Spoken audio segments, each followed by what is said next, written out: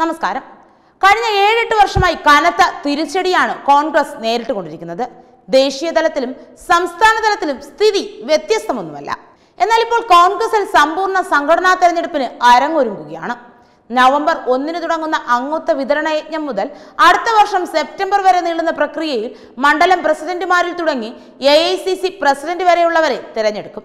ഇടക്കാല അധ്യക്ഷ സോണിയാഗാന്ധിയുടെ അധ്യക്ഷതയിൽ ഇന്നലെ ചേർന്ന പ്രവർത്തക സമിതി യോഗത്തിലാണ് തീയതികൾ പ്രഖ്യാപിച്ചിരിക്കുന്നത്.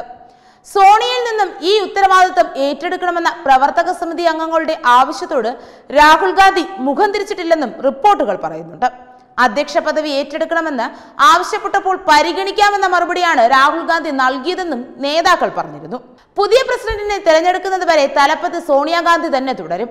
കഴിഞ്ഞ പൊതു തെരഞ്ഞെടുപ്പിൽ കോൺഗ്രസിന്റെ ദയനീയ പരാജയത്തിന് ശേഷം രണ്ടായിരത്തി പത്തൊൻപതിൽ രാഹുൽ ഗാന്ധി അധ്യക്ഷ പദം ഒഴിയുകയായിരുന്നു. അതോടെ സോണിയാഗാന്ധി ഇടക്കാല നേതൃത്വം ഏറ്റെടുത്തു. പാർട്ടിക്ക് ഊർജമുണ്ടാകണമെങ്കിൽ സംഘടനാ തെരഞ്ഞെടുപ്പിലൂടെ നേതൃത്വത്തെ നിശ്ചയിക്കണമെന്ന് കപിൽ സിബൽ ഗുലാം നബി ആസാദ് തുടങ്ങി ഒരു സംഘം നേതാക്കൾ ആവശ്യപ്പെട്ടിരുന്നു. സംഘടനാ ചുമതലയുള്ള ജനറൽ സെക്രട്ടറി കെ സി വേണുഗോപാലാണ് തെരഞ്ഞെടുപ്പ് ഷെഡ്യൂൾ പ്രഖ്യാപിച്ചത്. വരുന്ന മാർച്ച് ഏപ്രിൽ മാസങ്ങളിൽ യു പി പഞ്ചാബ് ഉത്തരാഖണ്ഡ് നിയമസഭാ തെരഞ്ഞെടുപ്പുകൾ നടക്കുകയാണ്. അതിനു മുൻപായി പരമാവധി അംഗങ്ങളെ ചേർത്തുള്ള സംഘടനാ പ്രവർത്തനത്തിലൂടെ പാർട്ടിക്ക് കരുത്തുണ്ടാക്കാനാണ് ലക്ഷ്യമിടുന്നത്. പുതിയ നേതൃത്വത്തിന് കീഴിൽ ഒന്നര വർഷം പിന്നിടുന്നതോടെ പൊതു തെരഞ്ഞെടുപ്പും എത്തുകയാണ്. അതേസമയം പഞ്ചാബിലെയും കേരളത്തിലെയും രാജസ്ഥാനിലെ ഉൾപ്പെടെയുമുള്ള കോൺഗ്രസിന്റെ സാഹചര്യം ചർച്ചയായേക്കും.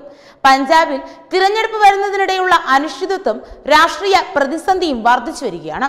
സംസ്ഥാന അധ്യക്ഷ സ്ഥാനത്ത് തിരിച്ചെത്തിയതിന് പിന്നാലെ നവജോത് സിംഗ് സിദ്ധു കോൺഗ്രസ് അധ്യക്ഷ സോണിയാഗാന്ധിക്ക് കത്തയച്ചിരിക്കുകയാണ്. മുഖ്യമന്ത്രി ചരൺജിത് സിംഗ് ചന്നിയുമായി തൽക്കാലത്തേക്ക് ഒത്തുതീർപ്പിലെത്തിയിരിക്കുകയാണ് സിദ്ധു എന്നാണ് റിപ്പോർട്ടുകൾ പറയുന്നത്. അമരേന്ദ്ര സിംഗുമായി ചന്നി അടുക്കുന്ന സാഹചര്യത്തിലാണ് സിദ്ധു തൽക്കാലത്തേക്ക് ഒത്തുതീർപ്പിലെത്തിയതെന്നും റിപ്പോർട്ടുകളുണ്ട്.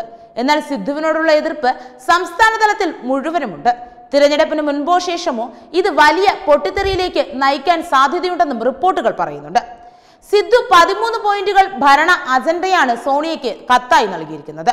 പഞ്ചാബ് സർക്കാർ ഇത് നടപ്പാക്കണമെന്നാണ് നിർദ്ദേശിക്കുന്നത് രണ്ടായിരത്തി പതിനേഴിലെ നിയമസഭാ തെരഞ്ഞെടുപ്പിന്റെ സമയത്ത് കോൺഗ്രസ് നൽകിയ വാഗ്ദാനങ്ങളിൽ നടപ്പാക്കാനുള്ള സുപ്രധാന കാര്യങ്ങളാണ് സിദ്ധു സോണിയയെ ഓർമ്മിപ്പിച്ചത്.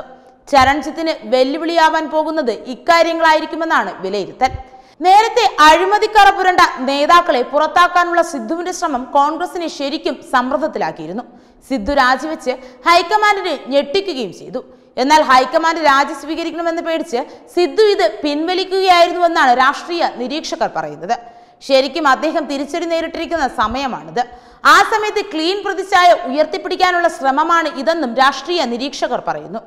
ബാദൽ കുടുംബത്തിനെതിരെയുള്ള പോരാണ് സിദ്ധു ആരംഭിച്ചിരിക്കുന്നത്. മയക്കുമരുന്ന് കേസിൽ അറസ്റ്റ് വേണമെന്നും സിദ്ധു ആവശ്യപ്പെട്ടിട്ടുണ്ട്. കേബിൾ മാഫിയയെ നിയന്ത്രിക്കാൻ നിയമവും കാർഷിക അടിസ്ഥാന സൗകര്യവും ഒരുക്കലുമാണ് പ്രധാനമായി സിദ്ധു മുന്നിൽ കാണുന്നത്. ഇതെല്ലാം കത്തിൽ പറയുന്നുണ്ട്.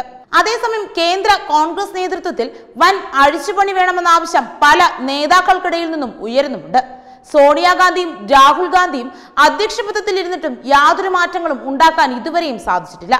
ഇതിന് ബദലായി ഒരു ശക്തനായ നേതാവിനെ കൊണ്ടുവരണമെന്നും പാർട്ടിക്കുള്ളിൽ തന്നെ പിറുപിറുപ്പുകൾ ഉയരുന്നുണ്ട്. ഇതിലൂടെ സോണിയുടെ പദം നഷ്ടമാകുമോ എന്നതുൾപ്പെടെ വരും ദിവസങ്ങളിൽ അറിയാം.